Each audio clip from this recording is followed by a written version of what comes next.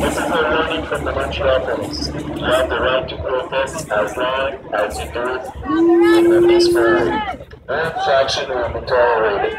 If you commit one, charges can be learned, then you will face a demonstration.